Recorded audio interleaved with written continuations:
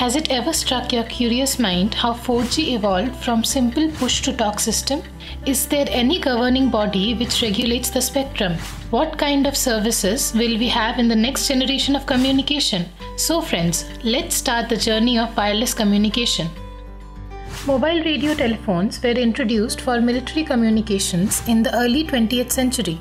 Car-based telephones was first tested in St. Louis in 1946 this system used a single large transmitter on top of a high rise building. A single channel was used for sending and receiving, similar to a half duplex system. To talk, the user pushed a button that enabled transmission and disabled reception. Due to this, these became known as push to talk systems in the 1950s. To allow users to talk and listen at the same time, IMTS, Improved Mobile Telephone System, was introduced in the 1960s. It used two channels, one for sending and one for receiving, bringing telecommunication to a full duplex mode. In the 1970s, private companies have started developing their own systems to evolve the existing system further.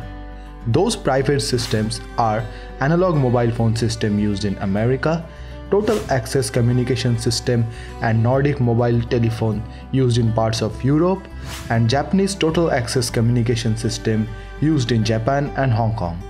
Independently developed systems are called as first generation communication. It was introduced in 1982 by Bell Labs and popularly known as Advanced Mobile Phone System AMPS. The key idea here was to divide geographical areas into cells and each cell was served by a base station so that frequency reuse can be implemented. As a result, AMPS could support 5 to 10 times more users than IMTS. Major concern for the first generation was weak security on air interface, full analog mode of communication, and no roaming. Now, to implement roaming, individual organizations started working under one umbrella European Telecommunication Standard Institute ETSI and developed second generation system. Second generation cellular telecom networks were commercially launched in 1991 in Finland based on GSM standards. It could deliver data at the rate of up to 9.6 kbps. Three primary benefits of 2G networks over their predecessors were phone conversations were now digitally encrypted, it was significantly more efficient on the spectrum and allowed far greater mobile phone penetration level. 2G introduced data services for mobile starting with SMS text message. Further, to achieve higher data rate, GSM carriers started developing a service called General Packet Radio Service GPRS. This system overlaid a packet switching network on the existing circuit switched GSM network. GPRS could transmit data at up to 160 kbps. The phase after GPRS is called Enhanced Data Rate for GSM Evolution. It introduced 8 PSK modulation and could deliver data at up to 500 kbps using the same GPRS infrastructure. During this time, the internet was becoming popular and data services were becoming more prevalent. Post 2.5G, multimedia services and streaming started growing and phones now started supporting web browsing. Development of 3G 3GPP UMTS, the Universal Mobile Telecommunications System, succeeded EDGE in 1999. This system uses wideband CDMA to carry the radio transmissions and often the system is referred to by the name WCDMA. Now, before we go further, let us understand how the governing bodies were developed. In the interest of producing truly global standards, the collaboration for both GSM and UMTS was expanded further from ETSI to encompass regional standards development organizations such as ARIB and TTC from Japan, TTA from Korea, ATIS from North America, and CCSA from China. The successful creation of such a large and complex system specification required a well-structured organization. This gave birth to 3GPP, which worked under the observation of ITUR. ITUR is one of the sector of ITU. Its role is to manage the international radio frequency spectrum and to ensure the effective use of spectrum. ITUR defines technology families and associates specific parts of the spectrum with these families. ITUR also proposed requirement for radio technology three organizations started developing standards to meet the requirements proposed by ITUR 3GPP, 3GPP2, and IEEE. Evolution of 3GPP started from GSM to long-term evolution advanced. Evolution of 3GPP2 started from IS95 to CDMA revision B. Evolution of IEEE started from 802.16 fixed WiMAX to 802.16M. Since 3GPP was dominating and widely accepted, we will only incorporate roadmap evolved by 3GPP. Now coming back to third generation. The goal of UMTS or 3G wireless systems was to provide a minimum data rate of 2 megabits per second for stationary or walking users and 384 kilobits per second in a moving vehicle. 3GPP designated it as Release 99.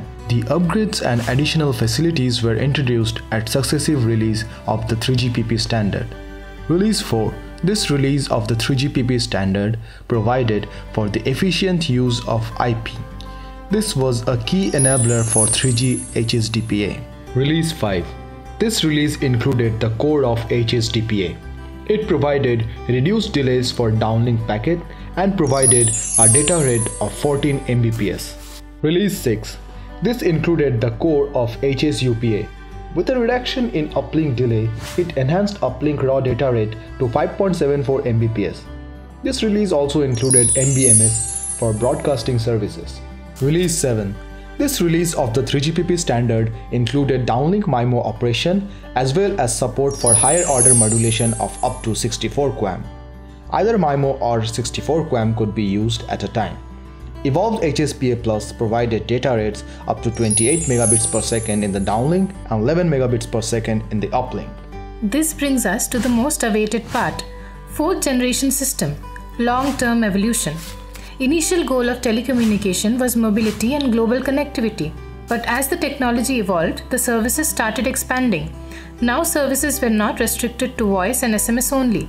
For this expansion and efficient execution in long term evolution, whole new architecture was adopted for both non-radio part which is SAE, system architecture evolution and radio part using pure IP architecture packet switching.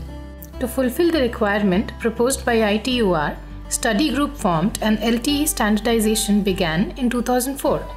Large number of telecom companies collaborated to achieve their common vision. In June 2005, Release 8 was finally crystallized after series of refining.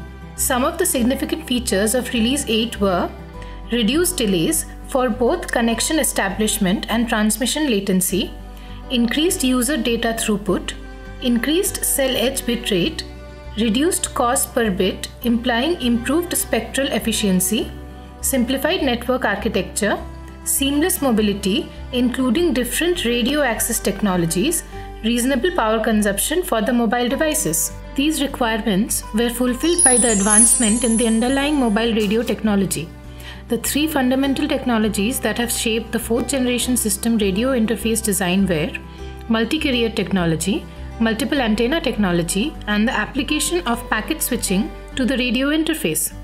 As a result of intense activity by a larger number of organizations, the specifications for Release 8 was complete by December 2007. The first commercial deployment took place by the end of 2009 in Northern Europe. In the subsequent releases, multiple services such as multi-cell HSDPA, HetNet, coordinate multipoint, carrier aggregation, massive MIMO, and many more were targeted for a rich customer experience. Now, it's time to move from services to multi-services approach.